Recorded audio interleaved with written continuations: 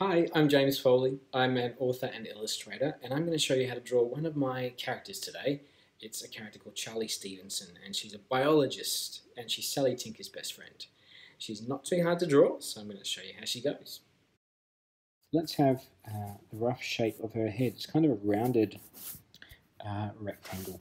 And let's put the rough body shape in here too. It's about that big. And then her shorts are about that much, oh, a bit shorter than that. And then this is quite often what I do when I'm sketching a character. I will sketch um,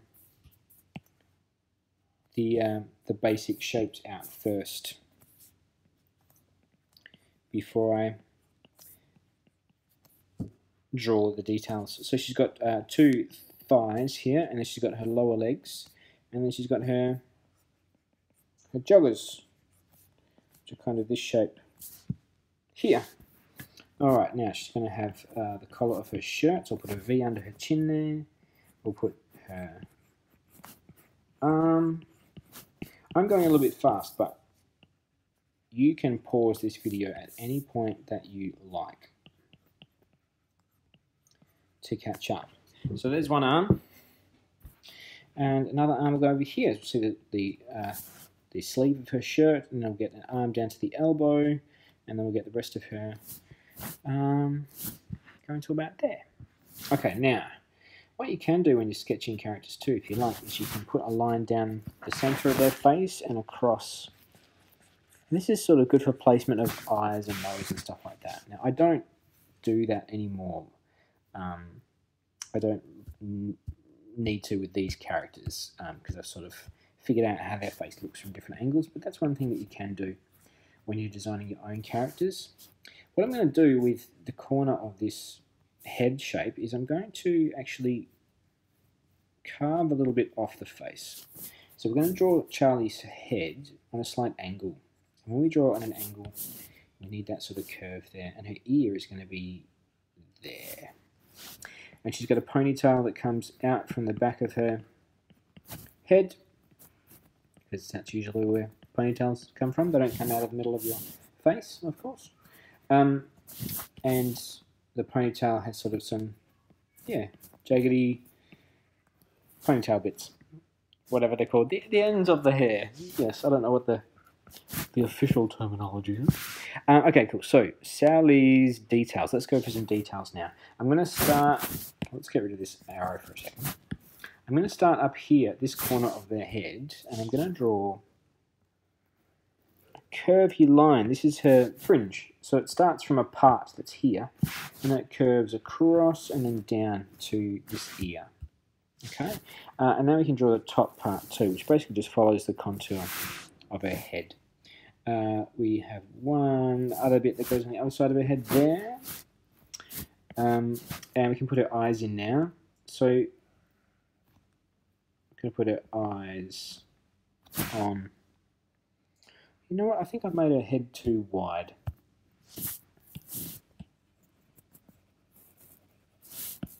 I'm going to shorten it a bit. Let's start with a, a narrower shape. Yeah, that's better. Apologies. See, look, there's... Even when you're a professional illustrator, you still make mistakes. And Charli has big eyes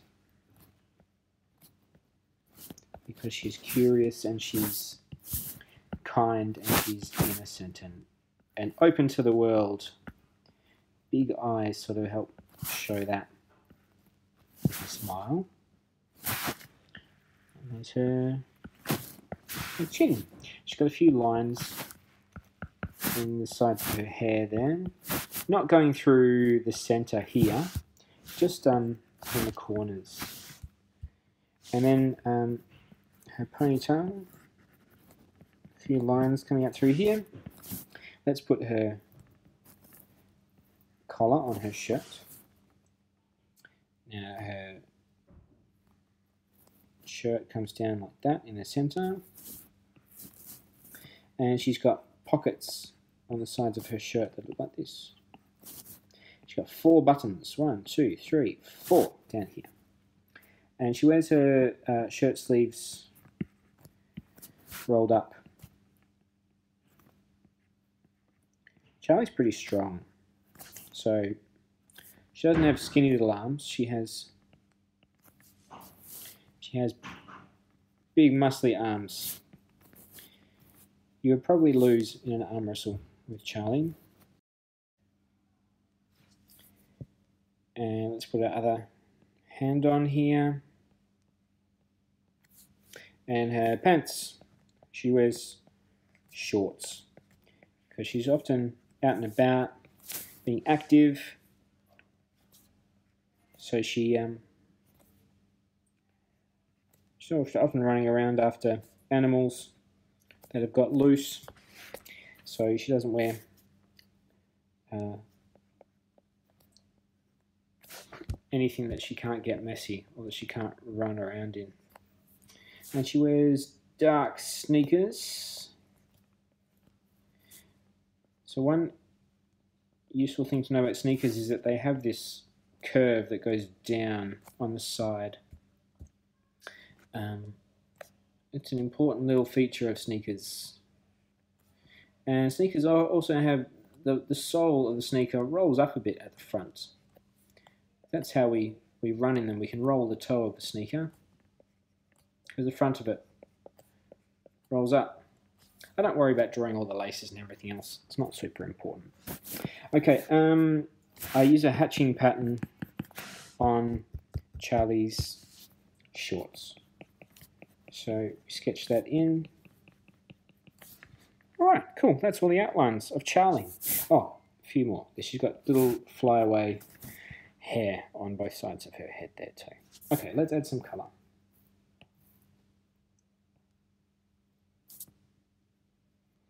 Uh, let's get a flesh tone. Charli spends a lot of time outside, so she's got um,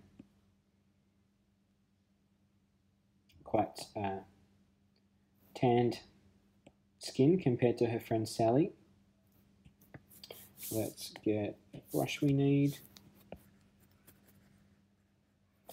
Uh, probably could make that a little different.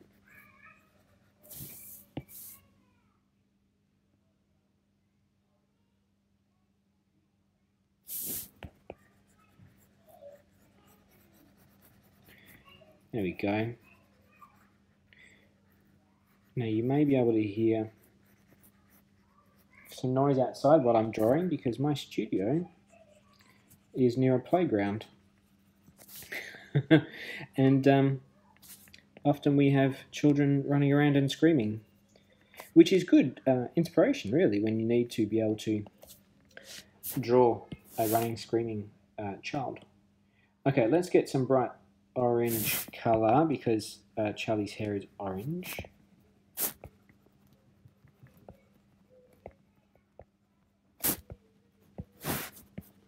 And I leave some gaps in her hair too to make it look a little shiny, but we can smudge this a little too to help with that shininess. Um, I'm using a iPad to draw, so I, I can use a few little tips and tricks here that are not available to you, unfortunately, when you are using a um, colour pencils. Okay, so this kind of uh, mustardy brown colour for her shirt. It's kind of a khaki zookeeper sort of shirt. And we need uh, dark grey for her shoes. Dark grey shoes are good when you are dealing with animals all the time because um, your shoes are going to get dirty. There's no point in wearing bright shoes. She's got orange socks and she's got um, a dark bluey grey colour for her shorts.